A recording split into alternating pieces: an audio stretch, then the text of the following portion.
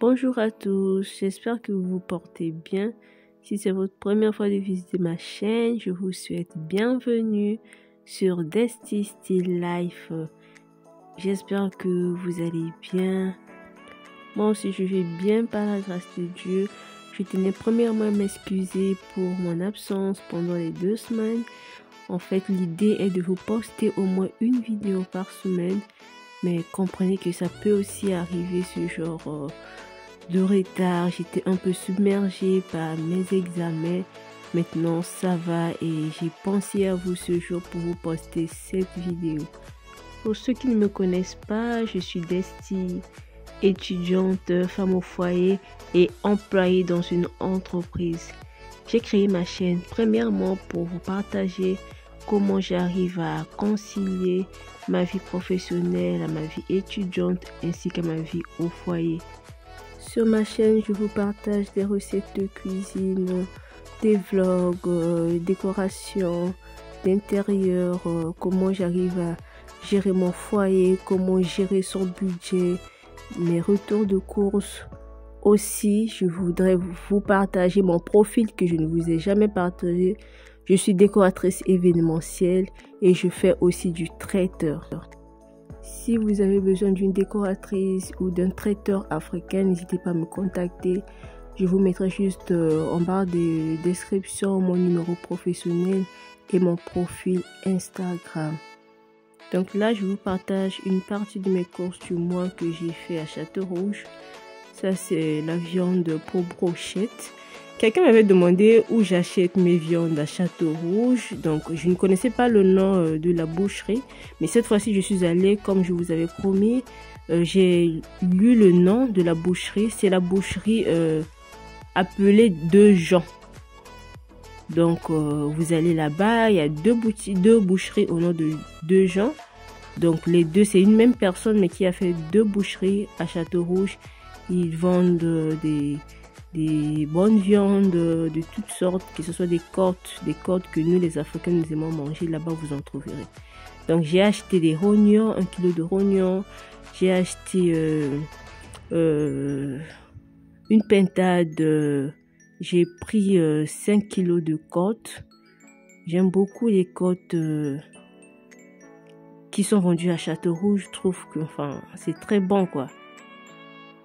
J'ai acheté 5 côtes, donc je les mets dans les sachets comme d'habitude, comme vous le voyez, mais j'ai pas montré euh, comment je mettais dans les sachets pour, euh, pour toutes les viandes parce que je voulais pas que la vidéo soit trop longue. Vous savez déjà comment je fais chaque mois pour des viandes. J'achète parfois euh, des cartons, je mets dans les sacs de congélation comme vous le voyez et ensuite je mets au congélateur. Et quand je veux cuisiner, je sors euh, juste la quantité que je veux faire et ensuite euh, je fais le repas. Voilà.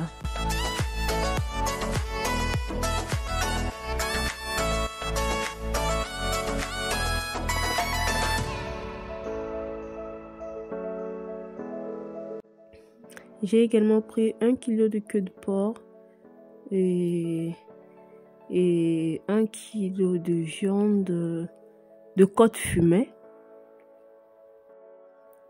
C'était juste pour me faire plaisir parce que pour ce pour cette fin de mois de janvier, je n'ai pas prévu faire des courses car euh, les courses que j'ai faites au, mois de décembre, j'en ai encore à la maison. On n'a pratiquement pas mangé, surtout qu'on avait beaucoup dépensé en décembre. Donc là, j'ai juste fait l'inventaire euh, de ce que je n'avais plus et je suis allée compléter question de couvrir tout le mois de février et je crois que ça va encore rester parce qu'il y en a beaucoup.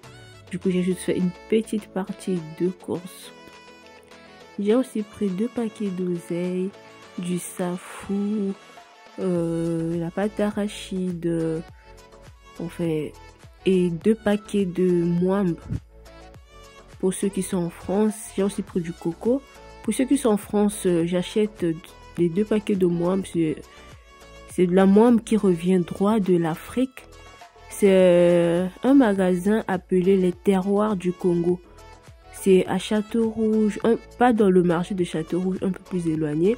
Si vous êtes intéressé, dites-le moi en commentaire, je vais vous partager l'adresse. En tout cas, ils vendent des produits frais qui reviennent droit de l'Afrique, précisément du Congo.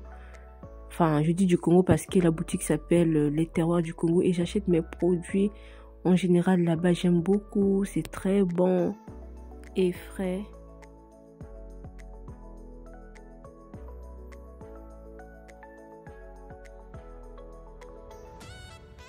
Là, je viens prêter l'oseille pour d'autres personnalités qui me suivent et qui ne connaissent pas ce légume. En fait, c'est l'oseille, comme je vous l'ai dit, et c'est très riche en vitamine C. Si vous avez une carence de vitamine C, il suffit seulement d'en manger pendant une certaine période. Vous allez retrouver de la vitamine C.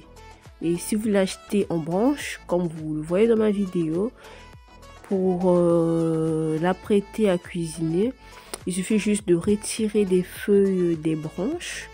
Et tout à l'heure, je vous montrerai comment je vais procéder.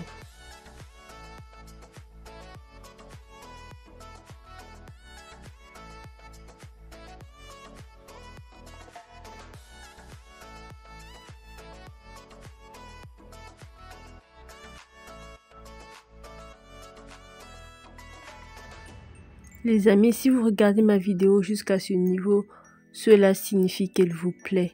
Alors abonnez-vous, commentez, soutenez votre, votre soeur en vous abonnant, en commentant, en partageant la vidéo à votre entourage. Voilà, ça compte énormément pour moi. Quand vous me laissez un pouce et que vous me laissez un commentaire, ça permet à YouTube de référencer ma chaîne, de les mettre en avant euh, parmi les milliers de chaînes qui partagent les mêmes contenus que moi. Alors je compte sur votre gentillesse, votre générosité de vous abonner à ma chaîne et je vous serai infiniment reconnaissante. Et je tenais aussi à remercier tous ceux qui se sont abonnés. À ce jour, je vois que la communauté est en train de s'agrandir. Abonnez-vous. N'hésitez pas aussi à me suivre euh, sur euh, ma page Instagram euh, Desti Lifestyle parce que là, quand je vais commencer à organiser des concours, euh, ça sera plus facile pour moi de gérer un concours via Instagram.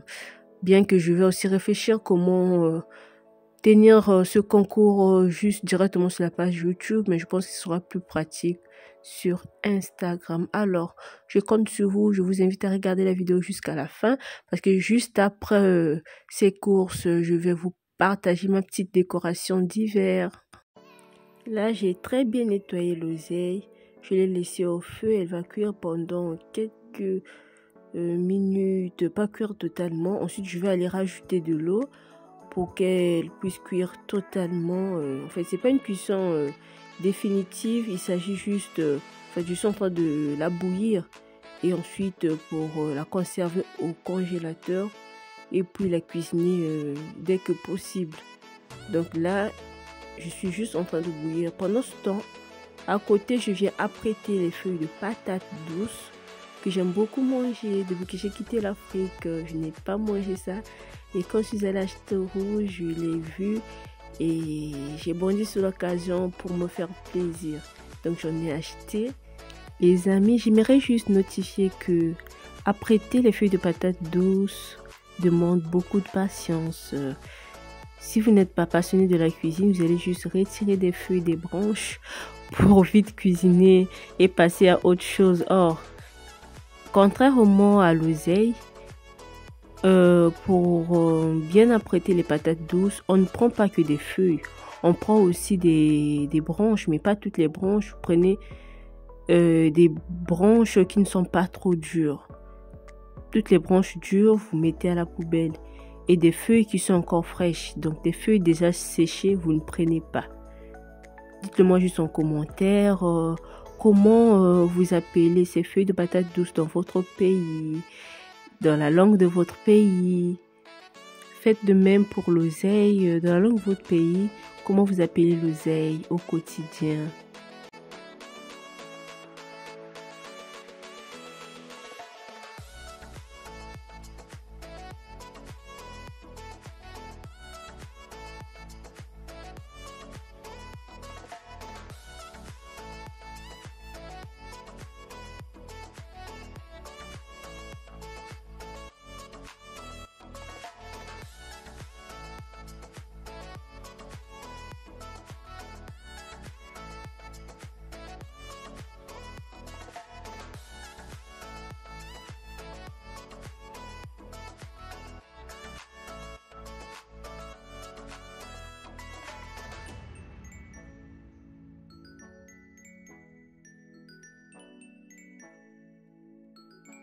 Pendant que je surveillais ma casserole, en même temps, je poursuivais avec mon travail que je faisais de ce côté-ci. Ce n'est pas du tout facile.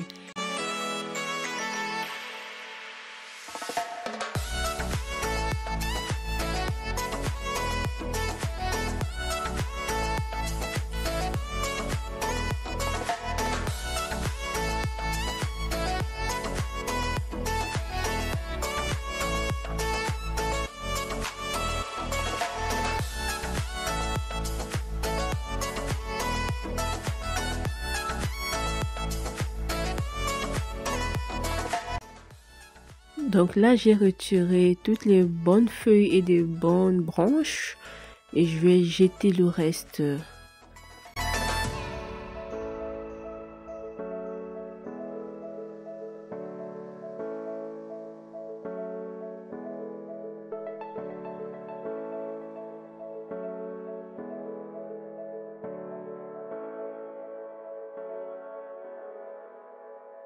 Après cuisson totale euh, de mon oseille, je viens juste retirer de l'eau et garder l'oseille à part.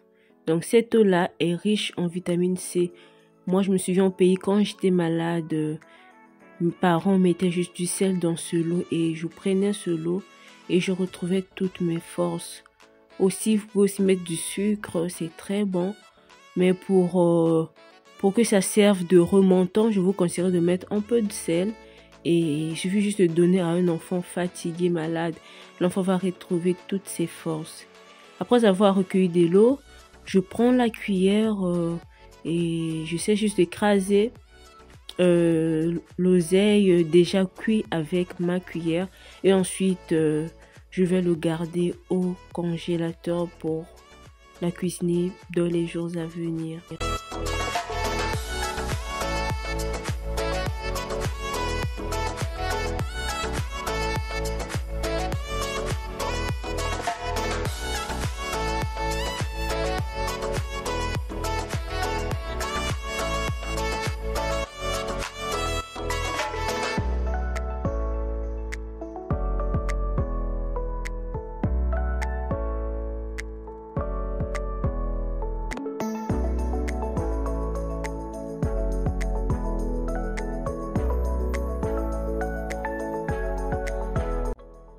Là, je viens nettoyer les feuilles de patates douces. Comme pour l'oseille, je prends le temps de bien nettoyer. S'il faut nettoyer six fois, n'hésitez pas jusqu'à ce que euh, vous constatez que vous avez déjà très bien nettoyé les feuilles et qu'il n'y a plus de sable au fond euh, de la cuvette que vous utilisez pour le lavage.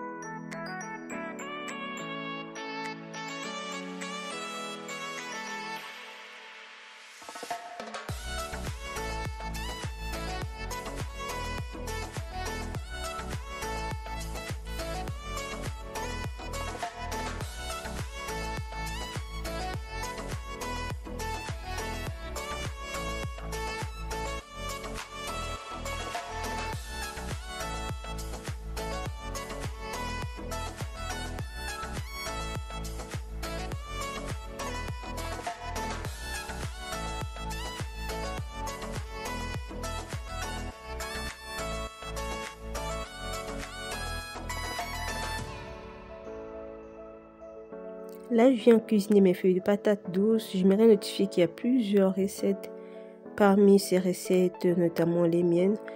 Euh, cette méthode que je vous partage est l'une de mes méthodes de, cuisson de ces, de ces feuilles de patates douces. J'ai commencé par mettre l'huile de palme dans ma, dans ma casserole, je l'ai bien chauffée. Et ensuite, j'ai rajouté de l'oignon et du poireau. Euh, je les ai laissés mijoter quelques minutes. Ensuite, euh, j'ai mis euh, mes feuilles de patates douces bien coupées et je commence à juste les frire avec l'huile et ensuite je viendrai rajouter une quantité d'eau qui permettra à, ces feuilles de bien cuire définitivement. J'ai aussi mis du bouillon, le cube jumbo. Et c'est tout ce que je mets à l'intérieur. Si j'avais le poisson fumé, j'allais aussi rajouter. Mais je n'avais pas de poisson fumé, donc je l'ai cuisiné de façon simple. Et je mettrai aussi du sel, c'était très bon. N'hésitez pas à reproduire la recette chez vous.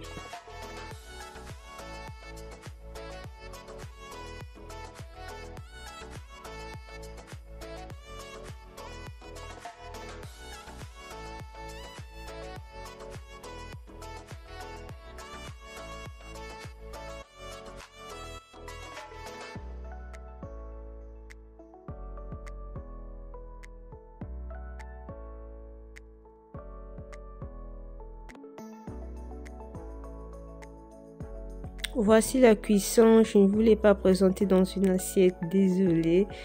Mais voici la cuisson. C'était très bon.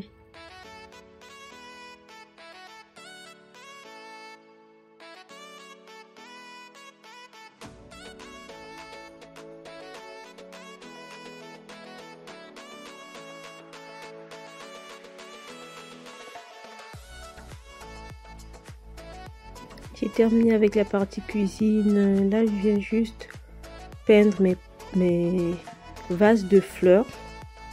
En fait, j'avais besoin des vases de fleurs blancs pour ma décoration d'hiver. J'ai regardé les prix, je ne trouvais pas euh, le modèle qui me plaisait. Du coup, j'ai décidé de moi-même faire mes vases de fleurs de couleur blanche. J'avais des vases de fleurs en verre que vous voyez dans la vidéo et j'ai donc euh, acheté de la peinture euh, spray chez Action. Cette peinture m'a permis d'obtenir enfin le pot de fleurs que je voulais. Voilà, je vous montre comment je procède. Après avoir euh, peint ces vases, je me suis rendu compte que c'était mieux que je puisse peindre de l'intérieur vu que c'était des vases en verre. Si j'avais mis la peinture de l'intérieur, ça serait plus beau. Mais moi, j'avais mis de l'extérieur. Bon, c'était aussi joli, mais je vous recommanderais, au lieu de peindre de l'extérieur comme je le fais dans cette vidéo, je vous recommanderais de le faire de l'intérieur. Donc vous mettez juste la peinture à l'intérieur euh, de votre vase en verre et l'effet vert transparent restera à l'extérieur. Vous verrez que le résultat sera waouh.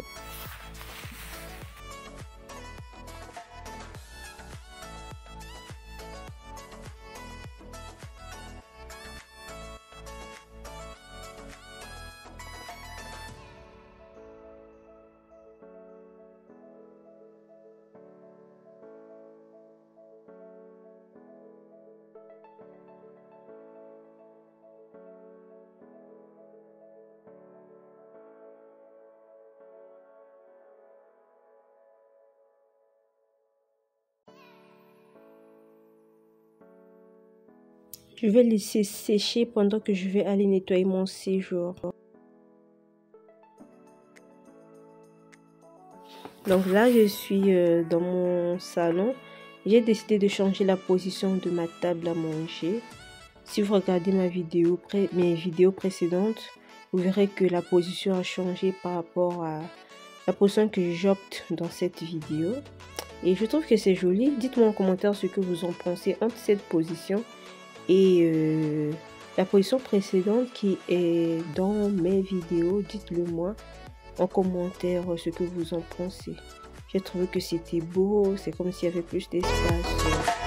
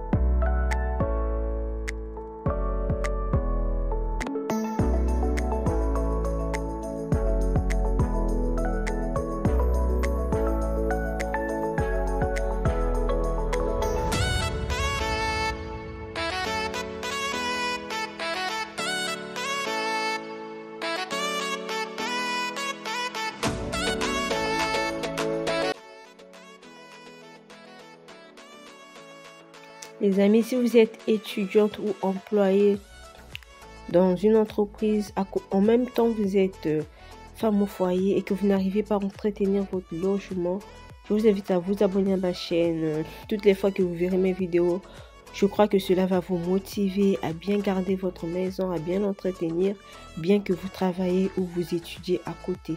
C'est très important euh, de bien entretenir son logement, euh, avec le stress que nous avons dans ces pays occidentaux, aussi là où vous vivez est très propre, ça va vous apaiser, ça vous préservera du stress, de la dépression, c'est très très très important.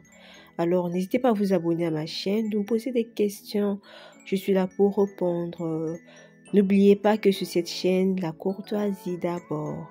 Donc on a promis d'être courtois, vous envers moi comme moi envers vous. Voilà, nous sommes une famille. Euh, voilà. Là, j'étais en train de nettoyer ma moquette avec la brosse. Comme vous le savez, je n'ai pas encore d'aspirateur. Donc, j'avais décidé de nettoyer ma moquette avec la brosse. Et j'ai vu que les saletés sont levées. Regardez vous-même. Plus que même euh, l'aspirateur robotique que j'ai acheté récemment. C'est ça. Nettoie bien cette brosse. Maintenant, je vous conseillerais, si vous voulez faire la même chose, de trouver une brosse en balai. C'est mieux, c'est plus pratique que une petite brosse euh, comme celle que j'ai. Il fallait que je l'eau. C'est pas pratique, mais ça nettoyait ma, moquette. Voilà, c'était tout juste propre.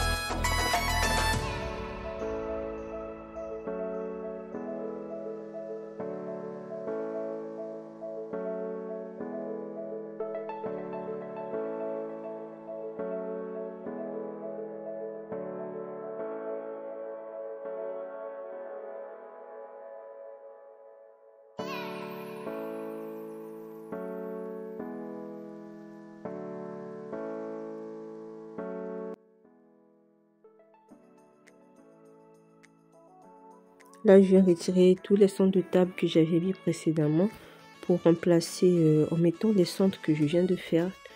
Vous verrez euh, et vous me donnerez votre avis. Vos commentaires sont les bienvenus.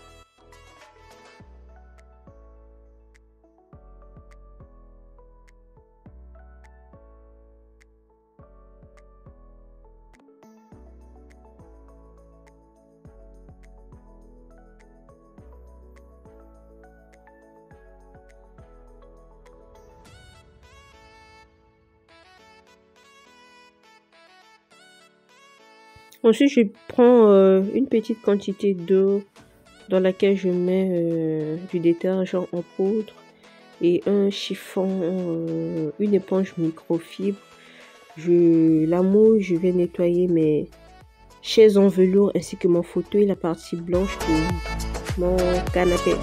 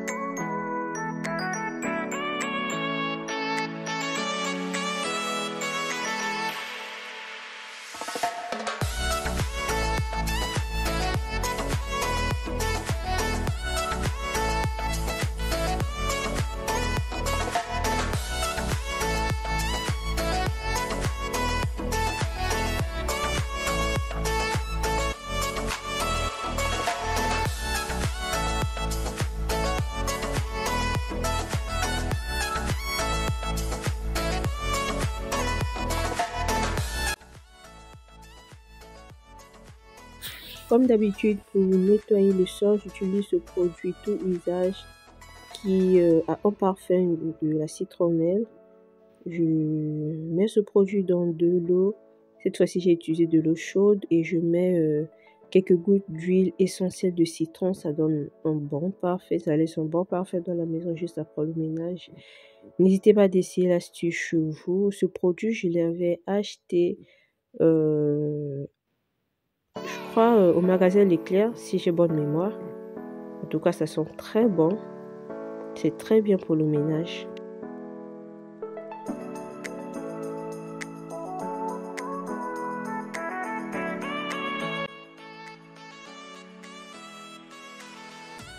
Les amis, j'aimerais notifier que vous allez remarquer que j'ai utilisé ce seau pour euh, nettoyer mon canapé et je l'utilise pour euh, nettoyer mon sol. En fait, j'ai deux seaux de ce genre. Donc, ne venez pas me dire en commentaire, mais non, tu utilises le même seau pour nettoyer le canapé. Donc, ce seau, j'en ai deux. Euh, il y a un que j'utilise spécialement pour nettoyer le sol et l'autre, je l'utilise enfin pour que ce soit pour la lessive, nettoyer le canapé comme je l'ai fait tout à l'heure. Donc, je voulais juste notifier cela. Là, je viens euh, habiller euh, mes coussins de ces housses. Dites-moi ce que vous en pensez en commentaire.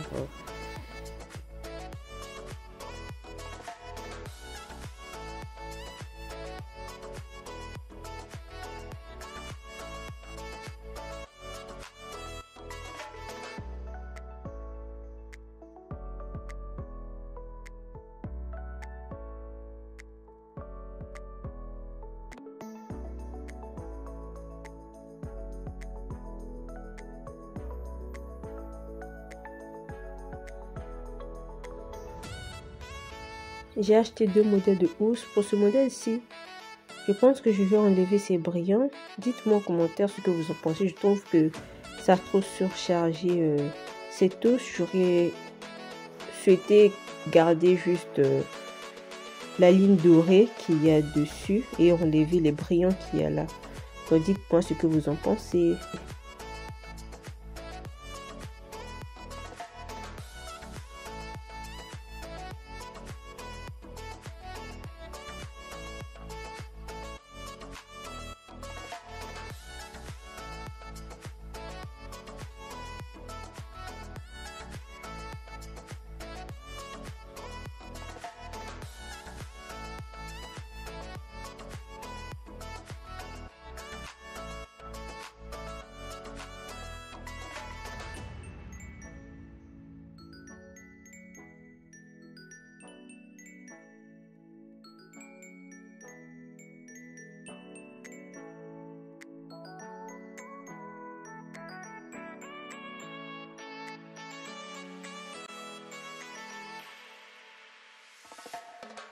Là, mes pots de fleurs ont séché. Je vais juste constituer mes centres de table.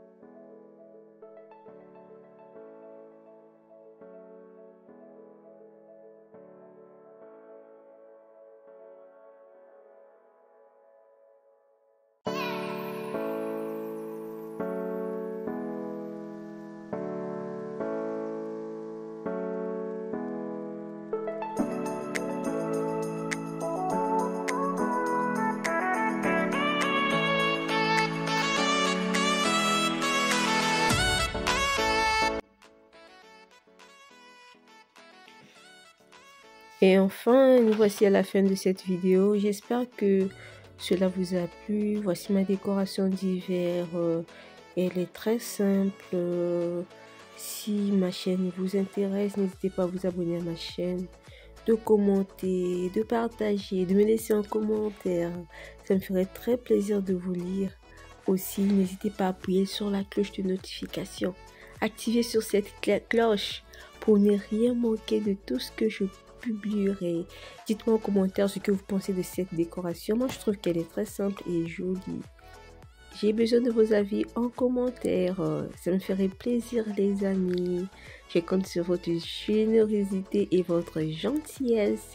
On se dit à bientôt pour une nouvelle vidéo. Donnez-moi plus de force. En tout cas, n'hésitez pas à me dire quelque chose en commentaire. Un petit j'aime de votre part me fera du bien.